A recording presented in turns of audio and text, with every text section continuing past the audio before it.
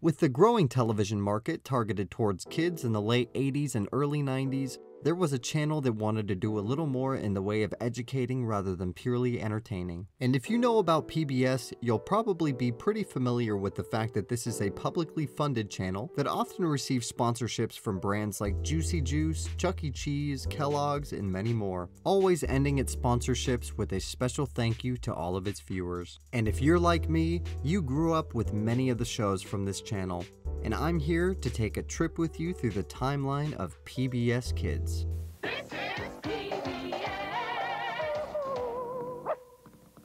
For 25 years, PBS had been airing children's shows on the normal channel, but due to a Ready to Learn initiative to help increase access to education for youth, they looked to start a new block on PBS dedicated just for kids. In August of 1993, PBS introduced the first mascots for PBS Kids, known as the P Pals.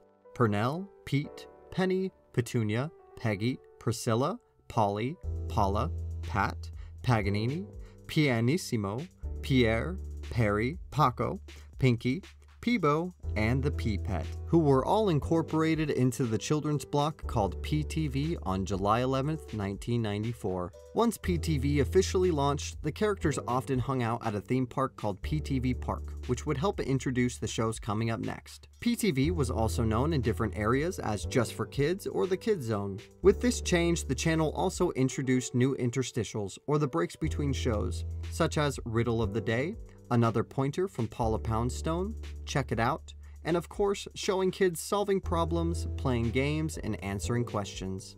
What would I do if I could fly? I would take a trip around the world and go all the way up to space, and I won't go down.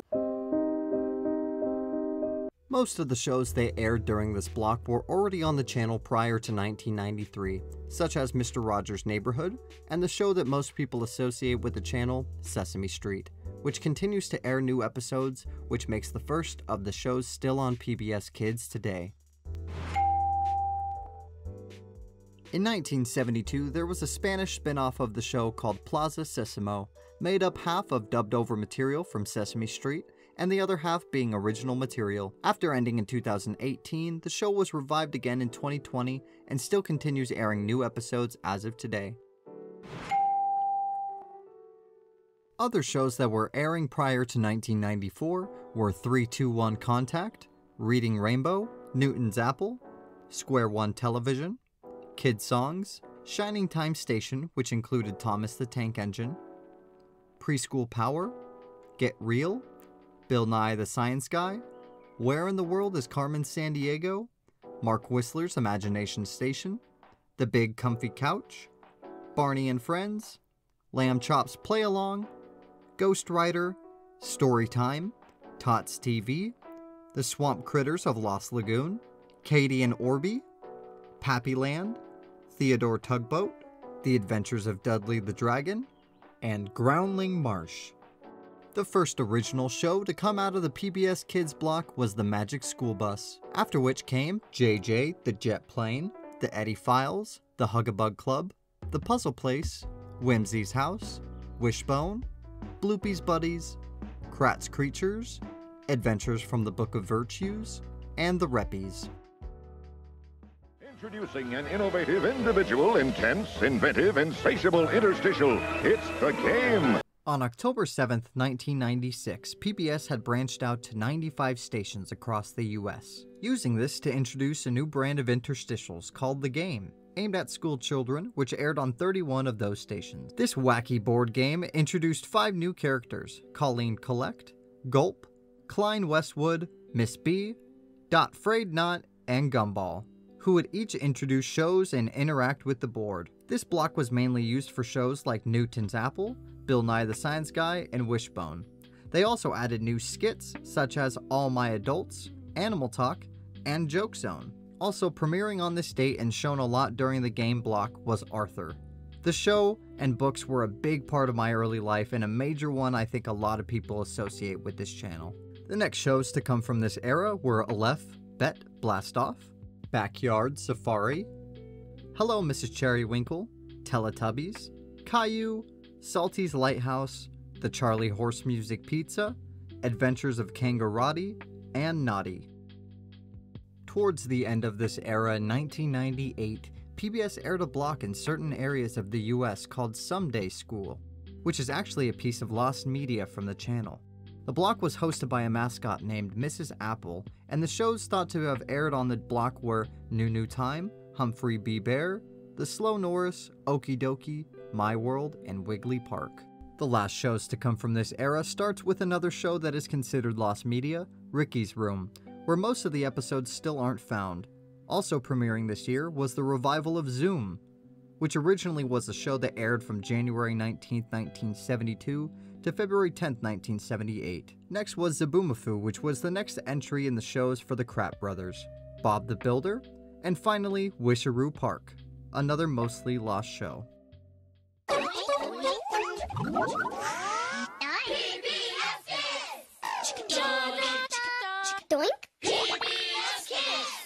On January 18, 1999, PBS announced that they were starting a new 24 hour channel specifically for children's content to be called PBS Kids, which went on the air on September 6, 1999. With this new rebranding and 24 hour channel, there were certainly some changes, the most notable being the new mascots of the channel the green PBS Kids, Dash and Dot.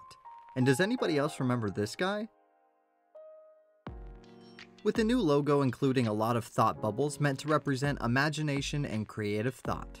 The first series to premiere on PBS Kids were Dragon Tales and Elliot Moose, both premiering on the launch date of the channel. After this came Redwall, then one of my favorite shows from this network, Between the Lions. This was followed by The Dooley and Pals Show, The Toy Castle, and Clifford the Big Red Dog. They also introduced six new shows based on children's books that were aired under the block title The Bookworm Bunch. These included Elliot Moose, George Shrinks, Corduroy, Seven Little Monsters, Timothy Goes to School, and Marvin the Tap Dancing Horse. Although it never made much sense to me that Clifford isn't included in that bunch given it came out around the same time. After this, many new shows joined the lineup like Mary Lou's Flip Flop Shop, The Saddle Club, Anne of Green Gables, Sagwa, the Chinese Siamese Cat, MythQuest, Dragonfly TV, Cyberchase, Signing Time, Angelina Ballerina, The Shapies, Liberty's Kids, The Berenstain Bears, Thomas and Friends, Boohbah, Franny's Feet, Clifford's Puppy Days, Jaker's Adventures of Piggly-Winks, My Bedbugs, and Curiosity Quest.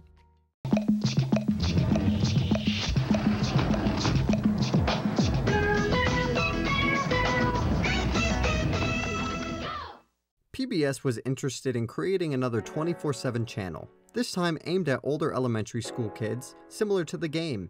This planned channel was eventually changed to target preschool and younger audiences, eventually called PBS Kids Sprout. On October 11, 2004, PBS instead put out their new afternoon block known as PBS Kids Go. With this, adding new commercial segments such as What Is It? Take a Guess, Go Figure, Stop and Go, where the audience would have to go online to complete the story set up by the characters, and these little comedy skits performed by kids. During this new block, they aired shows like Arthur and Cyberchase, and new shows like Maya and Miguel and Postcards from Buster, which premiered on the launch date of the block. Around this time as well, the channel started heavily advertising their websites pbskids.org and pbskidsgo.org. Other shows to come out when PBS Kids Go was still on PBS Kids were Mustard Pancakes, Auto-B-Good, Bob the Builder, Project Build It, Make Way for Noddy, Danger Rangers, Ribbert and Robert's Wonder World, The Zula Patrol, and Shira and Lolly's Diddy Doodle Works. The official 24 7 PBS Kids channel went off the air on September 26, 2005 to be replaced by PBS Kids Sprout. However, PBS Kids Go lived on through the afternoon block on the normal PBS channel, bringing us new shows like It's a Big Big World, Fetch with Ruff Ruffman, Curious George, Seemore's Playhouse, Design Squad, Mama Mirabelle's Home Movies, Word Girl, Word World, Super Why, Animalia, Biz Kids, Betsy's Kindergarten Adventures, Rags, Martha Speaks, Sid the Science Kid, Wonderkind Little Amadeus, Lomax the Hound of Music, The Electric Company, 2009. Angelina Ballerina, The Next Steps. Dinosaur Train. SciGirls, Bob the Builder, Ready, Steady, Build. Scientastic. Bali. The Cat in the Hat knows a lot about that. Wild Animal Baby Explorers. Ruby Studio. Wild Kratts. Oh Noah, and Daniel Tiger's Neighborhood. On May 12, 2011, the PBS Kids video app was made publicly free to include all PBS Kids content and became the main source for viewers over the years. The channel block of PBS Kids Go came to an end on October 7, 2013, with the decrease of viewership for the after school time slot.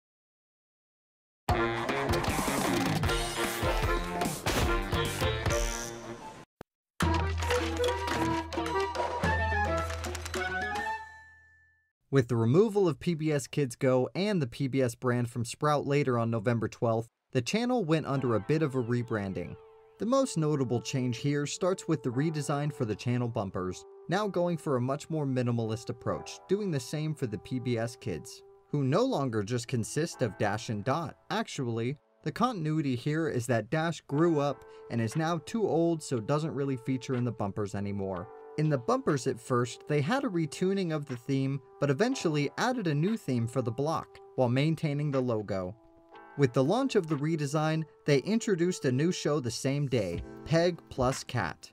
They followed this release with Space Racers, Odd Squad,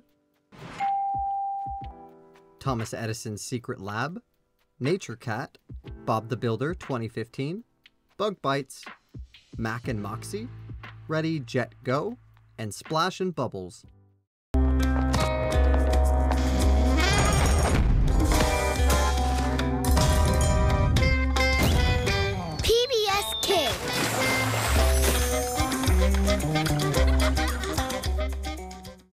12 years later, on January 16, 2017, PBS Kids relaunched their 24 7 channel and showcasing a new live stream through the PBS Kids video app.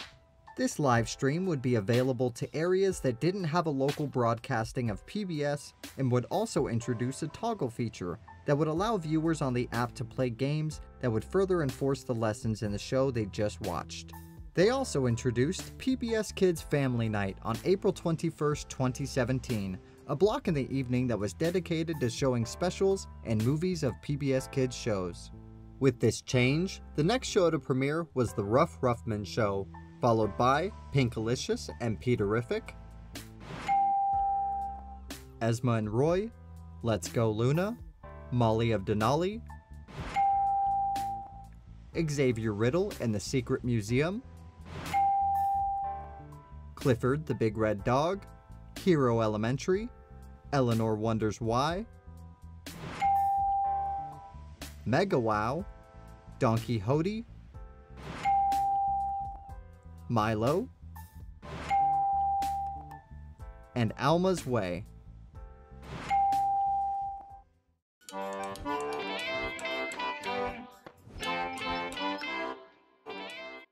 This all brings us to the current era of the channel. For the first time in 23 years, PBS Kids was changing their logo. On June 19, 2022, they introduced the new logo, which no longer contained Dash and changed its color scheme from green and white to blue and green. For the bumpers, they did keep Dot, Dee, and Del around, while adding new mascots that were variations of random people in the PBS Kids style. They also added new commercial segments, with one called Get Moving with PBS Kids, which is a dancing segment hosted by Dot with appearances from Dee and Del. The other is called the Really Really Awesome PBS Kids Activity Challenge, which shows how to do fun experiments with household objects. The newest shows on the channel that premiered after this change were Mecha Builders, Rosie's Rules, The Not Too Late Show with Elmo, Work It Out. Wombats, Jamming on the Job,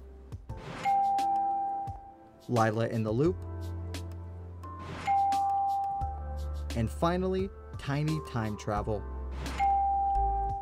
In February of 2023, PBS reduced the time slot for PBS Kids on the main channel due to heavy lack of viewership in the afternoon, now designating the slot to only early morning, however by this point most people just use the website or video app. Well, those were all of the shows that have been aired on PBS Kids over the years. My top 5 shows have to be Arthur, Between the Lions, Sesame Street, Cyberchase, and George Shrinks.